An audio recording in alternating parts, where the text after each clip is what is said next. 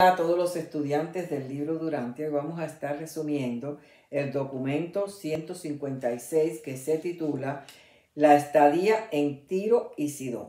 Comenzamos. Cuando Jesús y sus asociados llegaron a las cercanías de Sidón, se detuvieron en la casa de una mujer pudiente que había sido paciente en el hospital de Bethsaida. Sección número 1. La mujer siria. Jesús había dado instrucciones de dejarlo descansar que estaba cansado de tanta enseñanza y curación. Los apóstoles obedecieron, pero la criada de Canisca, la mujer de la casa, le comunicó a Norena, quien tenía una hija enferma, que Jesús estaba alojado en la casa de su ama. Norena se apareció en la casa con la hija, y cada apóstol trató de persuadirla de que se fuera. A cada uno le dijo que no se iría, y que sabía que el maestro tan solo de mirar a su hija la sanaría. Incluso Simón Celote la ofendió, hablando de la, historia del perro y las migajas. Y ella solo replicó, comprendo tus palabras, pero yo no soy sino un perro a los ojos de los judíos. Pero en cuanto a vuestro maestro, yo soy un perro creyente, y vosotros no sois dignos de ser sus discípulos, y no me iré hasta que mi hija no sea curada. Jesús había escuchado la conversación y salió para sorpresa de ellos, y dijo, Oh mujer, grande es tu fe no puedo negarte lo que deseas. Vete en paz, tu hija ha sido curada.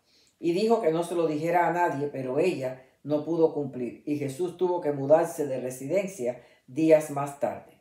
Jesús le dijo a los apóstoles, así han visto que los gentiles son capaces de alimentar una fe salvadora en las enseñanzas del Evangelio del Reino. De cierto, de cierto os digo, que los gentiles van a tomar posesión del reino del Padre si los hijos de Abraham no están dispuestos a mostrar la fe necesaria para entrar en él. Sección número 2. La enseñanza en Sidón. Al llegar a Sidón, Jesús y sus asociados pasaron por un puente y Jesús les dijo, este mundo es tan solo un puente. Podéis pasar por él, pero no debéis pensar en construir sobre él vuestra morada, señalando que esta vida es un puente a la vida eterna. Los apóstoles y los evangelistas estaban altamente regocijados por la forma en que los gentiles recibían su mensaje. Ellos alcanzaron a entender la enseñanza de que Dios no hace acepción de personas, raza o naciones. No tenían miedo de Jesús y se atrevieron a aceptar su mensaje. Jesús aclaró que huyó de Galilea no por cobardía, sino porque no era hora aún, ni buscaba convertirse en mártir, pues fue aquí donde les dijo, aunque desaparezca el cielo y la tierra, mis palabras de verdad no desaparecerán. Les advirtió que olvidaran el pasado y lucharan por adelantarse hasta abrazar las realidades más grandes del reino. Jesús mucho disfrutaba el sentido del humor de los gentiles y lamentaba la falta de humor de los judíos. El sentido de humor demostrado por Norena conmovió el corazón del maestro. La opresiva religión de los fariseos no podía originarse en un pueblo con sentido del humor. Les falta visión de conjunto. Cuelan el mosquito y se tragan el camello. Sección número 3. El viaje costa arriba. El martes 28 de junio partieron a Sidón y fueron bien recibidos por los gentiles. Los apóstoles y evangelistas predicaron y enseñaron. Y mientras tanto Jesús les dijo les dejó por tres o cuatro días visitando la ciudad costera de Berito, donde conversó con un sirio llamado Malak, un creyente que había estado en Bethsaida el año anterior. Sección número 4. En Tiro. en Tiro cada uno de los apóstoles se llevó a uno de los evangelistas y así de dos en dos enseñaron y predicaron y muchos fueron bautizados. Jesús estableció un, un cuartel general en casa de un judío denominado José, un creyente que vivía a cinco kilómetros del sur de Tiro. Muchos creyentes salían de su ciudad para hablar con Jesús en su lugar de descanso. En Tiro el maestro habló solo una vez, una tarde del 20 de julio. Enseñó sobre el amor del Padre por toda la humanidad y la misión del Hijo de revelar al Padre a todas las razas humanas. Había en Tiro una industria famosa de colorante y todos creían en el reino. Y cuando se fueron a establecerse a tierras lejanas, se llevaron consigo el mensaje de la paternidad de Dios y la hermandad de los hombres. Sección número 5. La enseñanza de Jesús en Tiro. Jesús enseñó sobre construir cimientos firmes y no dejarse amedrentar por la naturaleza animal. Usó la metáfora del lirio blanco de cómo se yergue al sol mientras sus raíces están en el lodo.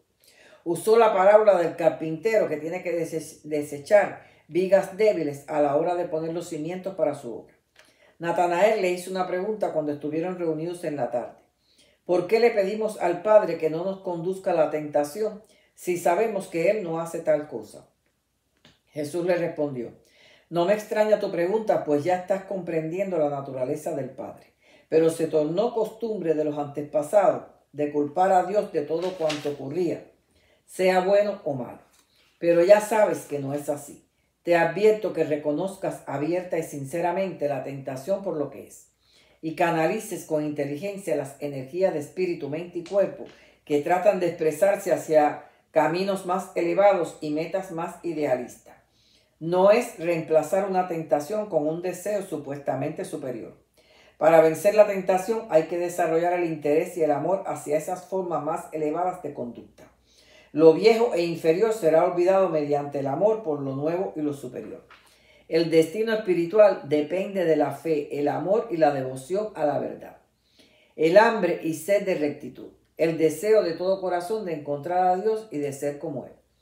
La naturaleza humana puede tener tendencia al mal, pero no es inherentemente pecaminosa.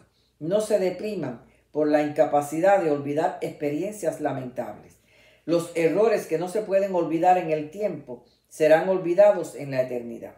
Aliviad esta carga adquiriendo una visión a larga distancia de vuestro destino. No estimes el valor del alma por las imperfecciones de la mente y los apetitos del cuerpo. No juzguéis tu alma ni miráis su destino por el metro de un solo episodio humano desafortunado.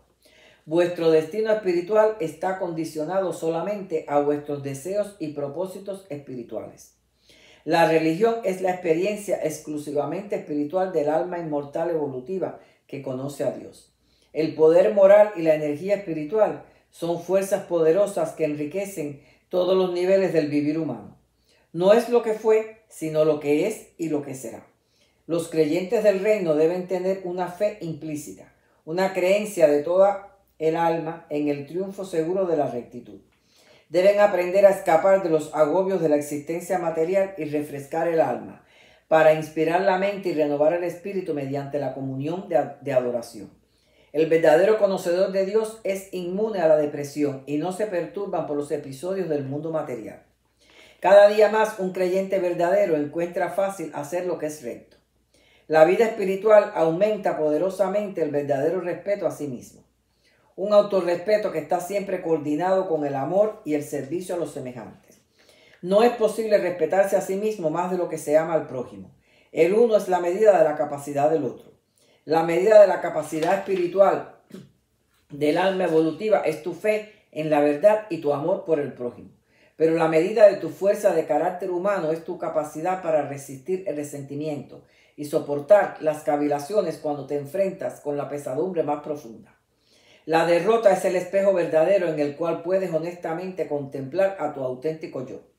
A medida que crecéis en edad y os volvéis más expertos en los asuntos del reino, seréis más discretos y más tolerantes en la convivencia y más tolerantes con los hombres fastidiosos. El tacto es el punto de apoyo del poderío social y la tolerancia es la marca de un alma grande. Evitar la deshonestidad y la injusticia. No busquéis reconocimiento no ganado, ni anheléis simpatía no merecida. En todo lo relacionado con el honor y la adulación, buscad tan solo lo que honestamente os pertenece. El que está consciente de Dios está seguro de la salvación y no tiene miedo de la vida, es honesto y constante. El creyente sincero no se cansa de hacer el bien. Y muchas otras cosas les enseñó Jesús. Sección número 6. El regreso de Fenicia. Jesús y los doce salieron de la casa de José buscando a Ptolemaida por la costa. Luego se dirigieron a Tiberia, después a, Jopata y luego a la aldea de Zabulón por el camino de Rama.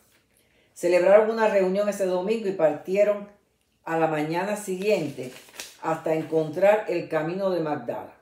Luego se abrieron camino a Genezaret, donde se encontrarían con David Zebedeo para planificar el próximo paso. Con David se enteraron cómo andaban las cosas, que los líderes estaban en ese momento reunidos al otro lado del lago. Descansaron tranquilamente en las colinas un día entero y luego se dirigieron al parque donde el maestro alimentó a los cinco mil. Durante la ausencia de Jesús, las cosas en Capernaum y Galilea ya se habían calmado. Pensaron que Jesús huyó y no volvería a importunarlos. Pero los creyentes probados y sinceros reanudaban sus predicaciones públicas. Los mandatos de cerrar las sinagogas habían tenido un efecto adverso sobre los escribas y fariseos. Muchos rectores abrieron sus sinagogas a Abner y sus asociados, declarando que estos eran seguidores de Juan y no de Jesús. Aún Herodes experimentó un cambio de sentimientos y sabiendo que Jesús residía al otro lado del lago en territorio de su hermano Felipe, le envió un mensaje que decía que su orden de arresto no era válida en ese territorio, de manera que no sería molestado y que así lo hizo saber al Sanedrín. Y así era pues la situación alrededor del primero de agosto del año 29 después de Jesucristo, cuando comenzó la reorganización de sus fuerzas desparramadas, probadas y diezmadas para el último y memorable año de su misión en la tierra. Y hasta aquí este documento, los espero en el próximo.